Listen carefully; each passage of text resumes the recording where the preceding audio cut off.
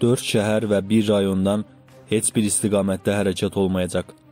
Qafqaz Info xəbər verir ki, bu barədə Baş Dövlət Yol Polisi İdarəsinin İctimaiyyət Əlaqələr şöbəsinin rəisi Kamran Əliyev Xəzər Aktualda bildirib.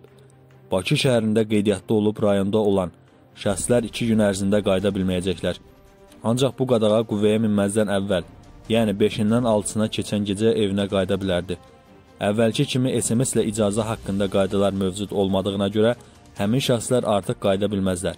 Bakı, Sumqayıt, Gəncə, Lənkəran şəhərlərində və Abşeron rayonunda heç bir istiqamətdə hərəkət olmamalıdır.